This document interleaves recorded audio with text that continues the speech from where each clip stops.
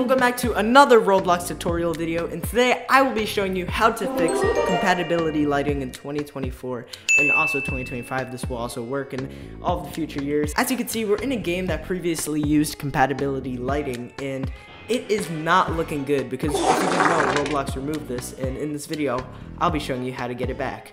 Now everything is just dark, it just does not work, you cannot run games like this, you will lose players, but I have a simple fix. This to show you how big of a problem this is. We're in game right now, and I'll put a picture on the screen of what this place should look like, like right here. It does not look good at all. This is not accurate. This is just horrible. If we look in the hallways, everything's dark. The lighting is all messed up. And in lighting, we could see we got no option for compatibility. It only goes up to box. Alright, so I basically have a few methods to fix this. If we go into lighting, we should have a thing called color grading right here. And right now, we just gotta wanna make sure that this is set to retro. Now, if this is not set to retro, the colors are gonna look distorted. Now, if we go back to default, it's very, so, oh yeah, here, this is a perfect example in this hallway. Much darker. Look, retro, default. This has been updated. You gotta make sure you have color grading though. If you don't know how to do that, click the plus. Let's add color grading effect, that's right here.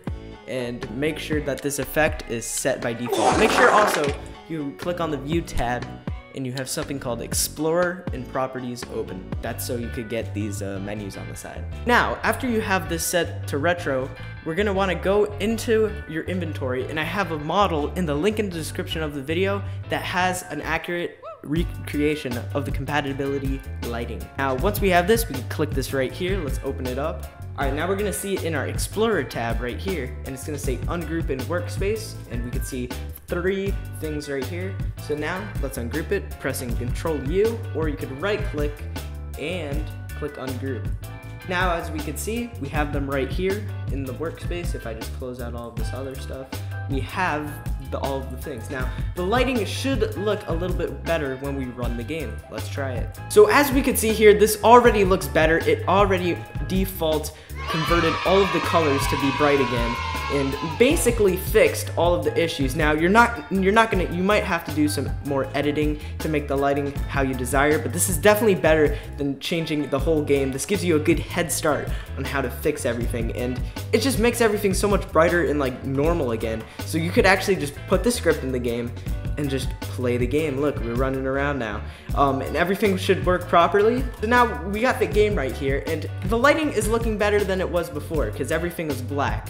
Now, you guys might be saying, oh, the lighting, it, I see, like, this is not exact. This is not exact, but I hate to break it to you. This lighting is gone. So this is the perfect alternative to this lighting. You have to use this. You'll probably get used to it soon. But um, yeah, that's pretty much it. Now, of course, if you don't like how certain things look, you could always manually change them using Roblox lighting.